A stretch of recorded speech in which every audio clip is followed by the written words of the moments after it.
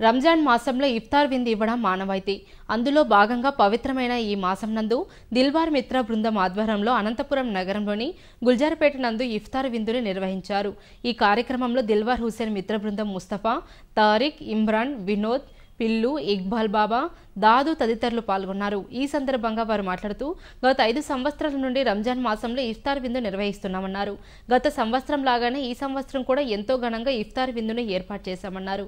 ఈ విందులో పాల్గొన్న మిత్రులందరికీ ప్రత్యేక ధన్యవాదాలు తెలియజేశారు.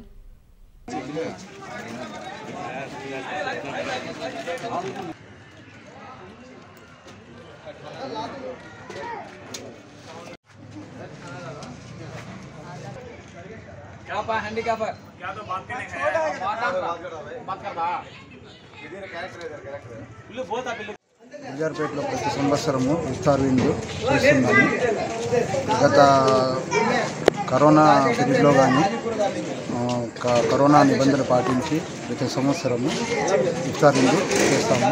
దాదాపుగా ఐదు వందల మంది ఇఫ్తార్ విందుకు హాజరైనారు.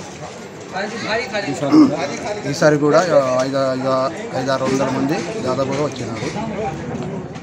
అస్సలం పెద్దోళ్ళు తమ్ముళ్ళు మా ఫ్రెండ్స్ అందరూ కుంజారపేటలో కలిసి ఒక ఐదారు సంవత్సరం నుంచి విస్తార విందు చేస్తున్నాము. కరోనా టైంలో కూడా చేపించినాము. కరోనా నిబంధనలు పాటించి ఇప్పుడు కూడా అదే పాటించి విస్తార విందు ఇప్పుడు కూడా భోజనానికి ఒక ఐదు వందల ఆరు వందల మంది కూడా వచ్చినారు భోజనం చేస్తున్నారు సంవత్సరము చేపిస్తుంటాము. అస్సలం हर साल की तरह इस साल भी गुलजारपेट मस्जिद के गली में पाँच साल से पिछले पाँच साल से यहाँ दावत चल रही है, इफ्तारी की दावत।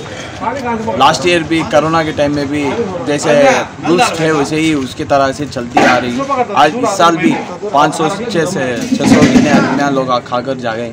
और जो भी मास्क से और सैनिटाइजर जो भी थे, सब अलहमदिल्ला उसके मुताबिक इस इफ्तार की दावत हुई है। और आने वाले दिनों में भी जो जैसे भी होंगे इन अगले साल भी वैसे ही करेंगे इन पूरी गुलजारपेट के आवाम से और सबको ईद मुबारक।